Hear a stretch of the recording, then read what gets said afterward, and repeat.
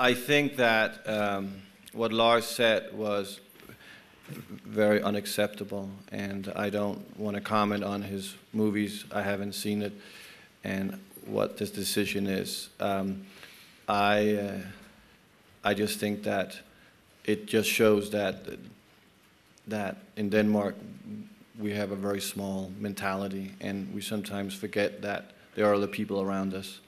And and I I, I was very re- repulsed by what he said, and just for my own family's sake as well, and and how it affects them and and everybody else. You know. Um, I don't, I don't really want to get into it. It's not whatever he wants to do, it's his life. The man is 60 years old.